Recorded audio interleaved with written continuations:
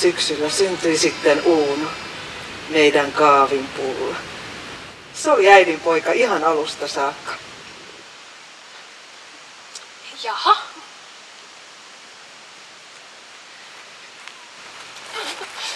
Kuunteles, minä, minä, minä vihellän sinulle.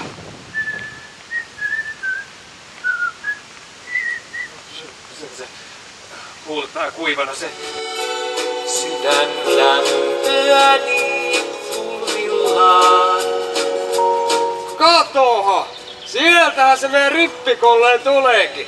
Aattele Serkki, huomenna viimeistä velipuolesta tulee sitten mies. Me otamme kiitollisina vastaan teidän sävellyksenne pieni laulu. PSO-levyyhtiö! No niin. Uno on saanut sopimuksen. Unto. Mikä unto?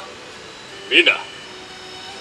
Tästä lähtien minä olen säveltäjäkitaristi Unto Mononen. Ai, orkesterin nimi.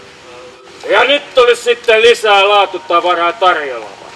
Niin, tuota, tässä on tämmönen satuma ja sitten pari muuta. Olla! Kahvia! Ei kun yksi riittää.